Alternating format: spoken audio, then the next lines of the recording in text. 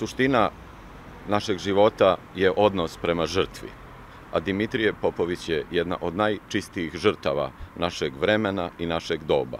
Ta žrtva se ugradila u Gračanicu, ugradila se u naše živote, ugradila se u našu kulturu sećanja. Tako danas duboko znamo da je on neko ko je deo nezaborava, deo naših života, deo naših porodica i deo naše ukupne životne realnosti koja na Kosovo i Metohiji govori da nemamo pravo na zaborav, da nemamo pravo na neučestvovanje u životu Kosova i Metohije, nemamo pravo da odemo i kažemo te žrtve su bile uzaludne.